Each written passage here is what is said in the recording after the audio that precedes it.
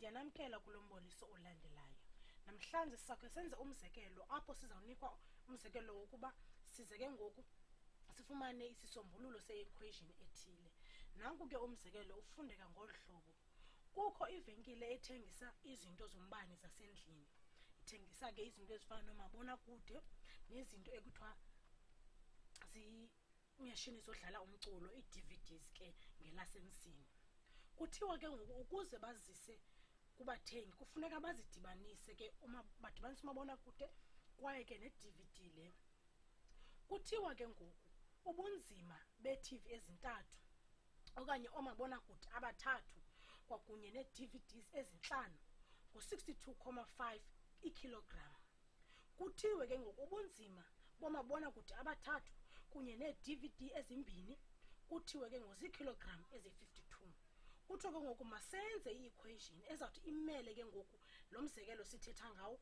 Kwaye ke ngoku sikhangele ukuba umabonakude omnye unobunzima obungakanani kwaye ne-dvd inye inobunzima obungakanani na? Masenze ke ndiyathemba ukuba njengoba besikhe sathetha nge-algebra uyayazi into yokubana kufuneka siqale ke ngoku senze ii-equations ezothi zimele lo mzekelo. Masiqhubeke ke sizawuthi ke ngoku endaweni kamabonakude sibeke uthi endaweni ye-dvd sibeke udi uyayazi ibalulekile le nto xa sisenza i-algebra ukuba sibeke iimpawu endaweni yento. Kuthiwa ke ngoku masenze i-equation yokuqala. Sizawuthi ke ngoku 3 t kumela eza amabonakude bathathu simdibanise no-5 d nomele eza dvd zintlanu simlinganise ke ngoku no-62.5 kuba kaloku kuthiwa ubunzima bazo zombini ngu-62.5 ikilogram ke. Senze ke ngoku i-equation yesibini.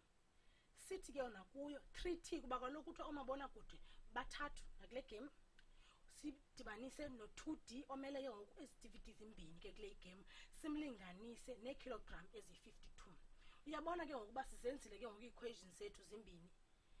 Masithi ke ngoku sisombulule.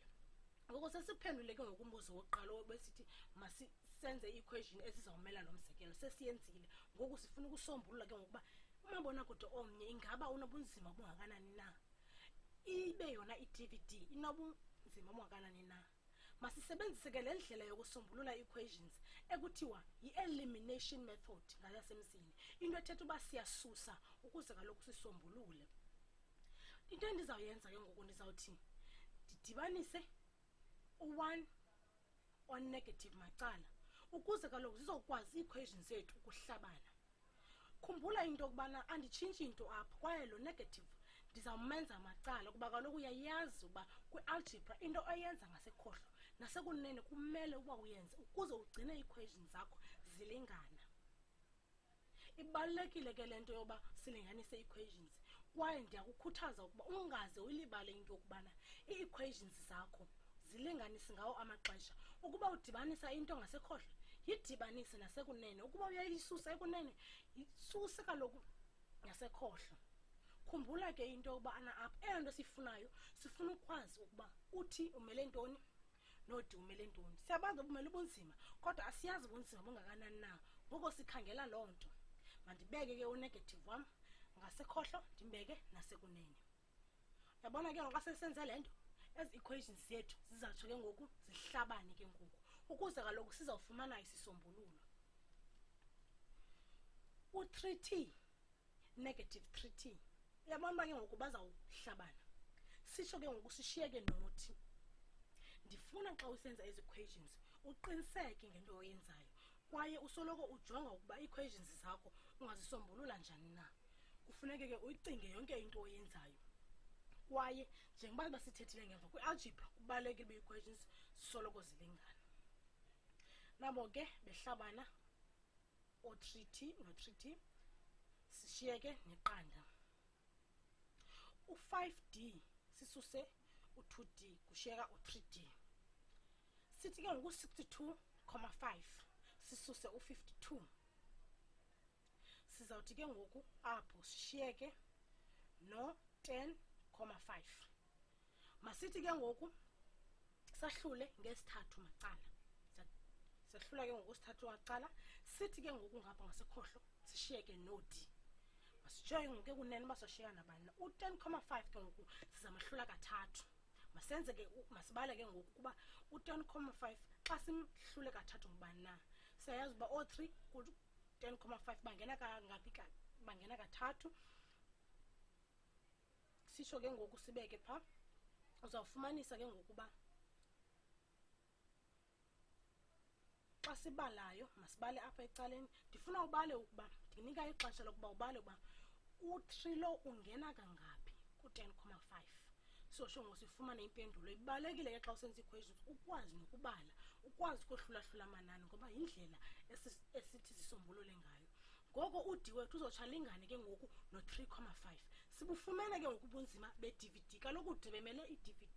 Uyabona ke ngokuba sifumene isisombululo kodwa sikagqibi kuba kaloku sifuneka sifunde nobunzima bomabonakude.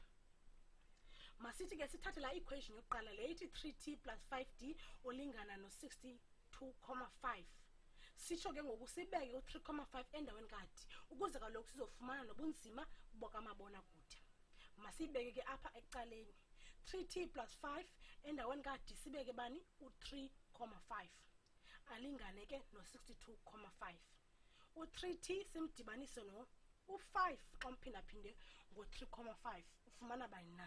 Siyayazi uba u-5 xa mdibani xa mphindaphinde kathathu u-15 u-5 ke ngoba nabo ke ngoba bahlanu ngu-2,5 itsho ngokube ngu-17,5 olingana no-62,5 masithi ke ngoku sisuse ku-17,5 macala kaloku into yenza ngasekhohlo uyenza ngasekunene. Yabona seliculo lethu eliyayazi uba ekhohlo. Ekunene wenza into efanayo.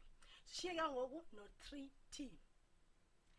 Sitsho ke ngoku simlinganise u-17 comma 5 noma i-17 comma 5 bazohlabana kaloku uba bayafana.